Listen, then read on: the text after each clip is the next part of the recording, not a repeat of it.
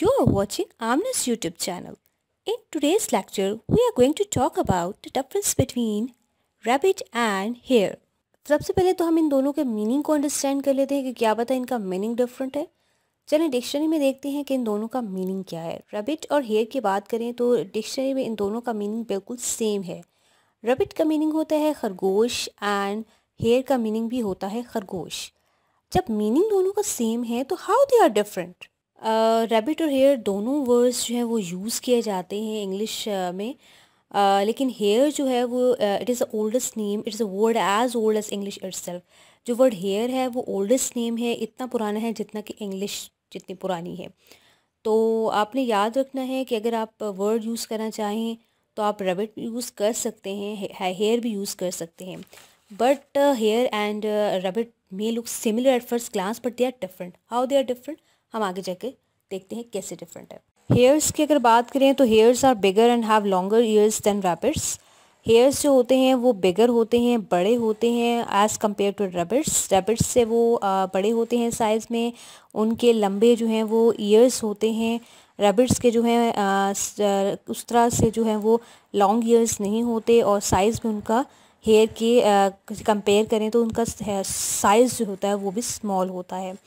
और second important thing इनके बारे में ये है कि हेयर की बात करें तो हेयर जो है, वो वाइल्ड एनिमल्स होते हैं, यानी डोमेस्टिक नहीं होते, इनको घरों में आप नहीं रख सकते। रेबिट्स को आप as a pet house pets जो हैं, वो रख सकते हैं। घरों में ये जो है वो रखे जाते हैं एज़ कंपेयर टू हेयर अगर हम इसके गोश्त की बात करें तो इसका गोश्त जो है, वो हलाल होता है। आप इसको खा सकते हैं। It is a very popular dish across different parts of the world different countries में जो है इसका जो है वो मीट बहुत पसंद किया जाता है। ये हलाल एक एनिमल होता है और इसके टेस्ट की अगर बात करें तो इसका taste it taste almost like a chicken यानी चिकन अगर मुर्गी का गोश्त से कंपेयर किया जाता है, किया जाए तो मुर्गी का गोश्त और रैबिट का गोश्त बिल्कुल सिमिलर समझा जाता है। कहते हैं कि अगर आप किसी को ना बताएँ ना बताएँ कि ये किसका मीट है तो अगर आप रैबिट का जो है वो मीट खिला दें तो कोई पहचान नहीं सकेगा उसके टेस्ट से कि ये रैबिट का मीट है, क्योंकि इसका टेस्ट चिकन से बिल्कुल सिमिलर होता है। जिस तरह से हर एनिमल का जो है वो एक नेम होता है मीट का लाइक चिकन मुर्गी के गोश्त की बात करें तो chicken beef mutton different animals के मीट के स्पेसिफिक नेम होते हैं। तो क्या क्वेश्चन है कि क्या रैबिट का भी के मी के जो मीट होता है उसका भी कोई स्पेसिफिक नेम है? तो rabbit meat doesn't have a special name ठीक है? It's simply called rabbit meat अगर आपने रैबिट के मीट की बात करनी हो तो उस तरह से इसका कोई स्पेसिफिक इसके मीट का कोई गोश्त का कोई नेम नहीं है। आप सिंपली इसको कह सकते हैं rabbit meat male rabbits is called buck and female rabbits is called doe और अगर हम हेयर की बात करें तो male hare is called jack and female hare is called jill ठीक है?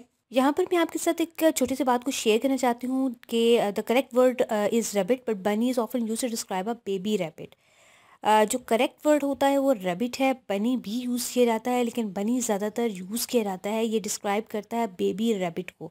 अगर आप रेबिट के जो है वो बेबी की बात करें हों तो आप बनी का वर्ड यूज़ करेंगे रेबिट का नहीं यूज़ करेंगे। रेबिट की अगर बेबी की बात करें तो रेबिट के बेबी को किटन भी कहते हैं केट भी कहते हैं, और किटन जो है वो यंग रेबिट को भी बोला जाता है। न्यू बॉर्न जो हेयर होता है, उसको हम बोलते हैं लेवरेट जिसके स्पेलिंग्स है L E V E R E T जो बेबी न्यू पैदा होता है हेयर का, उसको हम लेवरेट बोलते हैं। Rabbits and hares are different from the moment they are born rabbits और हेयर्स जो होते हैं, वो जब पैदा होते हैं तो वो डिफरेंट होते हैं एक दूसरे से। Rabbits are born helpless in the need proper tension of the mother for about eight weeks rabbits की अगर बेबी की बात करें तो रबिट्स के जो बेबीज़ होते हैं, वो जब पैदा होते हैं तो वो बिल्कुल हेल्पलेस होते हैं। उनको प्रॉपर अटेंशन की मदर की ज़रूरत होती है। तकरीबन एट वीक्स यानी टू मंथ्स तक उनको जो है वो प्रॉपर अटेंशन की मदर की ज़रूरत होती है। They are actually born undeveloped with close eyes and no fur यानी जब वो पैदा होते हैं तो वो उस तरह से डेवलप नहीं होते, उनकी आइज़ क्लोज होती हैं, बंद होती है। उनकी जो स्किन होती है, उस पर, उस तरह से जो है वो हेयर नहीं होते, ठीक है? और वो प्रॉपर अटेंशन उनको ज़रूरत होती है मदर की क्योंकि वो हेल्पलेस होते हैं। प्रॉपर अटेंशन जो है वो मदर उनको देती है ऑलमोस्ट टू मंथ्स तक, यानी एट वीक्स तक। बेबी हेयर्स की बात करें तो baby hares are born with fur in side and they can move on their on within hour of their birth baby hares की बात करें तो बेबी हेयर्स जब पैदा होते हैं तो उनकी स्किन पर हेयर मौजूद होते हैं और जिस तरह रेबिट के जो बेबी होता है वो उस तरह से ओपन आइज़ नहीं कर सकता, जिस तरह के हेयर का बेबी कर सकता है, ठीक है? और ये इजीली मूव कर सकते हैं जब ये पैदा होते हैं तो ऑलमोस्ट वन आवर जब कंप्लीट होता है तो ये इजीली मूव कर सकते हैं। इनको उस तरह से प्रॉपर अटेंशन की ज़रूरत नहीं होती, जिस तरह से रेबिट के जो बेबी होता है, उसको प्रॉपर मदर की अटेंशन की ज़रूरत होती है। ये इजीली मूव कर लेते हैं, जो हेयर के जो बेबी होता है, वो इजीली मूव कर लेता है। ओपन होती हैं उसकी आई स्किन भी होती है। तो ये उस तरह से इंडिपेंडेंट जो है, वो होता है डिपेंडेंट नहीं होता, ठीक है? Rabbits and hares even tend to eat different foods अगर हम इन दोनों के फ़ूड की बात करें तो रबर्स और हेयर्स जो हैं, वो डिफरेंट फ़ूड खाना पसंद करते हैं। Rabbits prefer soft grasses and vegetables like carrots rabbits की बात करें तो ये बिल्कुल सॉफ्ट से ग्रासेस को और वेजिटेबल्स यानी सब्ज़ियाँ वगैरह खाना पसंद करते हैं। फॉर एग्ज़ाम्पल कैरेट्स वगैरह शौक से रबर्स खाते हैं। ये सॉफ्ट चीज़ों को ज़्यादा पसंद करते हैं, ठीक है?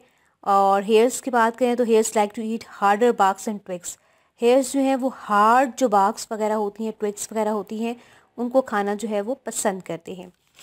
अगर हम दोनों के होम्स की बात करें तो रेबिट्स की अगर हम बात करें तो rabbits make their homes in burrows underground यानी रेबिट्स जो हैं वो अपने जो घर बनाते हैं वो बरोज़ में बनाते हैं, यानी बिल वगैरह में बनाते हैं, ठीक है? While hares make nest above ground जो हेयर्स होते हैं वो घोंसले टाइप बनाते हैं जो घर बनाते हैं वो ग्राउंड पे बनाते हैं, फर्श पे यानी दोनों को कंपेयर करें तो रबिट्स जो हैं वो अंडरग्राउंड जो हैं वो घर बनाते हैं और जो हेयर्स होते हैं, वो ग्राउंड पर जो है वो घर बनाना पसंद करते हैं। मैं उम्मीद करती हूँ आपको मेरा आज का लेक्चर बहुत पसंद आया होगा। इस लेक्चर में जो है वो पॉइंट्स जो थे वो मेमोराइज़ करने के लिए बहुत ज़्यादा थे। तो अगर आपको अभी भी कुछ पॉइंट्स जो हैं वो आपके मिसिंग हो गए हैं तो आप स्क्रीनशॉट लेके जो है इन पॉइंट्स को मेमोराइज़ कर सकते हैं। बार बार इन, इस वीडियो को देखिए ताकि आपको आज का लेक्चर जो है वो अंडरस्टैंड करने में जो है वो आसानी हो सके। अगर आपको मेरी वीडियो पसंद आई है तो मेरी इस वीडियो को लाइक ज़रूर कीजिएगा। मेरे चैनल को सब्सक्राइब करना मत भूलिएगा और लास्ट में ये कहूँगी कि मेरी वीडियोस को जो है वो अपने फ्रेंड्स के साथ जो है वो शेयर करना मत भूलिएगा। And thanks for watching